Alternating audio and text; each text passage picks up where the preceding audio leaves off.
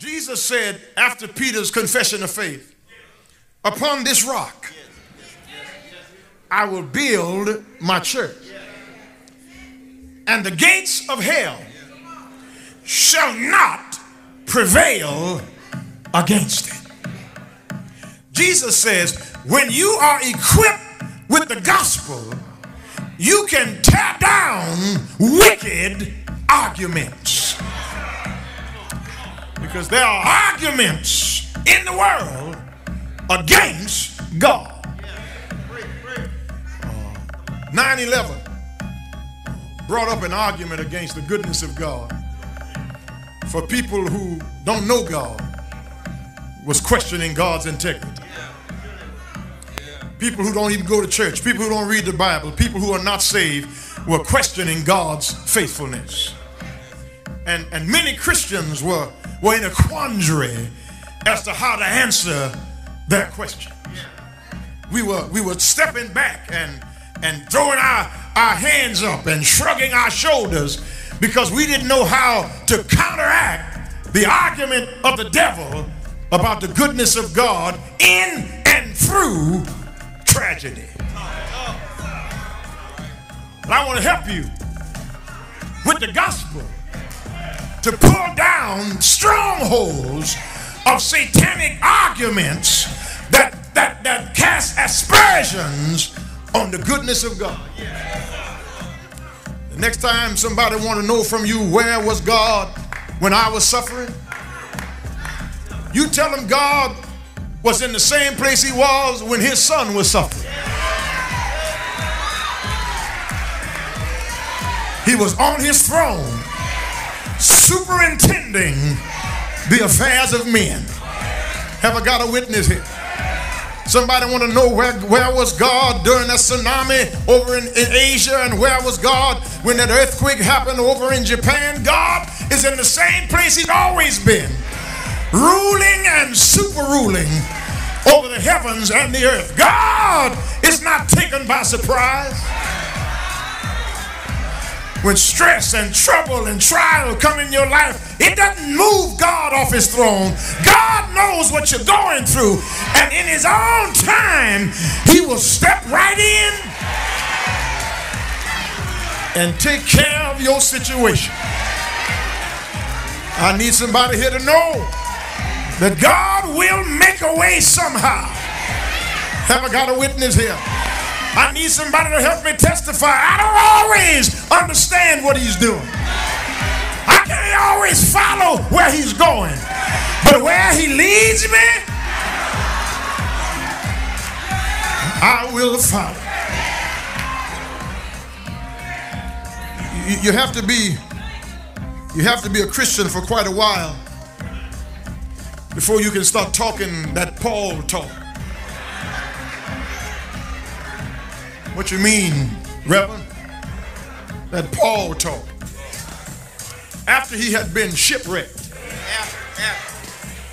After he'd been run out of town by a mob. After he'd been let down a wall in a basket. Uh, after he had received 40 lashes minus one. After he had been hungry and naked and in peril of the sword. Paul said, after all of that, I had to learn that in whatsoever state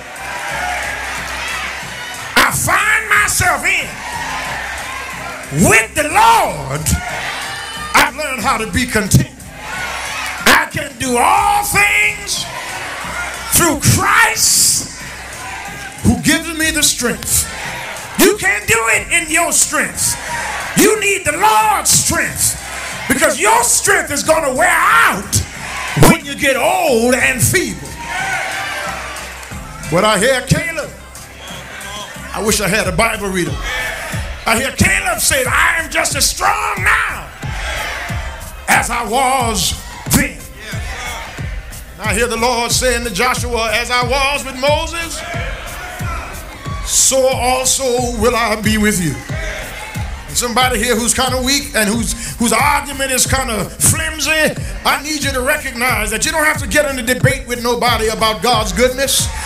Just stand up and testify. Look at me. I wish I had a witness. You want to hear an argument about the goodness of God? Look at me. Look at my life. Let me tell you where I came from. Let me show you what God has done for me. That's the greatest argument I know.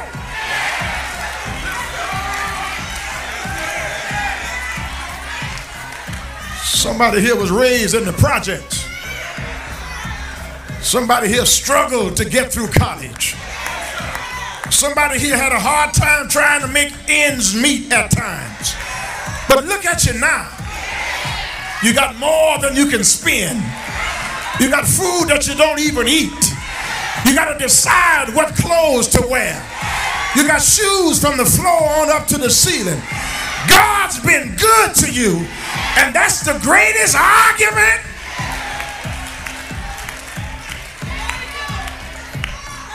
against the stronghold of the devil. Gospel has power to destroy strongholds of argument. And then the gospel has power to destroy high towers of rebellious thought. Because people don't love God not because they don't know what the word says, but they don't love God because they are rebellious by nature. We rebel against God's goodness. We rebel against God's righteousness because it is human nature to want to do what you want to do. It is human nature to get angry when somebody points out to you your faults. It is human nature to try to excuse your bad behavior. Talk back to me if you can. You, you rationalize your ugly ways, your strange and quirky disposition by talking about, well, I'm a Leo. I am the way I am because I'm a cancer. I got funny ways because I'm a Capricorn. No, you're low down because you're a sinner. And you rebel against the goodness and the will of God because God is going this direction and you want to go in that direction. And whenever you rebel against the will of God, Satan comes into your life and builds a stronghold. He builds a beachhead where he can come in, set up residence, and use you against the will of God. Let's, let's check out what the word says. The word says when a man cleans his house and sweeps out demons, if he doesn't put something in the demon's place, the word of God, the righteousness of God, the will of God, the faithfulness of God, if he doesn't replace what he swept out with something that's good, the demon will come back. But watch this. The Bible says he will come back not by himself, but with demons seven times stronger than the one you swept out. You get more stubborn, more egotistical, more proud, because you thought you got rid of it last year. But if you haven't completely swept it out and replaced it with the goodness of God, the devil will come back in and build a stronghold.